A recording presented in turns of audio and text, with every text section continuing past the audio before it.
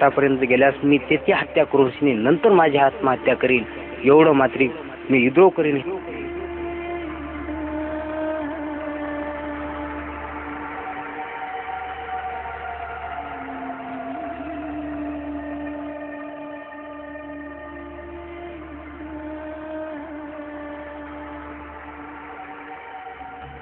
या वर्षी तर बाई नफा झालाच नाही आम्हाला.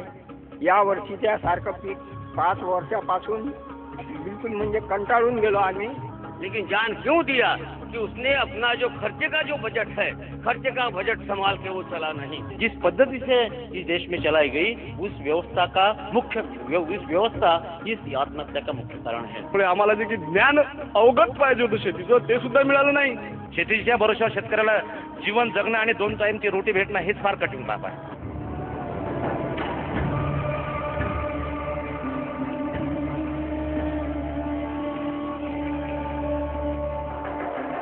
सरकारी कापूस खरेदी योजना आणि इथला मिल मालक म्हणजे जिन मालक यांनी संगनमत करून आमची शेतकऱ्याची जास्तीत जास्त कोंडी कशी व्हावी आणि हा त्रासेल कसा? दोन महिन्याचा सीजन गेल्यानंतर कोणी माल घ्यायला खरेदी खरेदीदार भेटणार नाही अशी अपेक्षा आम्हाला कास्तकाराला वाटते?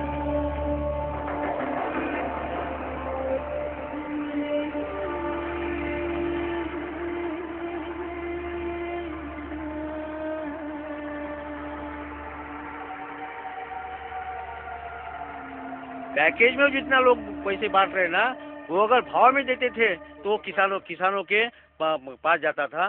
किसान के नाम से निकाला गया पैसा तो सीमेंट इंडस्ट्री को जाएगा, आयरन एंड स्टील इंडस्ट्रीज़ को जाएगा कॉन्ट्रैक्टर्स को जाएगा, किसान के पास नहीं जाएगा। किसान खेती के कर्जे में भी फंसा है और इस तरह के कर्जे में भी उलझा है। माझ्यावर एक लाख पंच्याण्णव हज़ार रुपये कर्ज आहे. तर या कर्ज मी हे कसं फेडू हा मार्ग तुम्हीच सांगाय संपूर्ण पीक घेऊन जा. दहा हज़ार रुपयासाठी आमच्या भावाला आत्महत्या करावी लागते. ज्याच्याकडे दहा हज़ार रुपये कर्ज आहे. ते मेल्याच्या नंतर सरकार आम्हाला एक लाख रुपये अनुदान देते.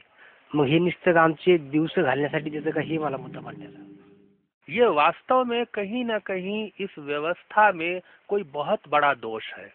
किसान की सब्ज़ी हम उस रेट में नहीं खरीदना चाहते जिस रेट में हम पानी पीते हैं बोतल का।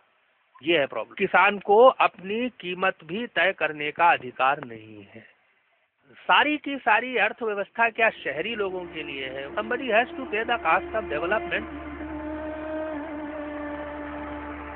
क्या कर रहे? तो हमने वो पचास हज़ार रुपये आपको दिए थे। हमारे हमने पैकेज कर दिया। किसानों को कपास को हम पंद्रह सौ रुपये दे रहे। कुछ तो भी बोलने के लिए चाहिए। इसलिए ये सब हो रहा है। उसमें कोई दम नहीं है दुर्दैव हमारे किसानों का ऐसा है। कि साठ साल में इनके हाथ में कुछ तो भी करने का था।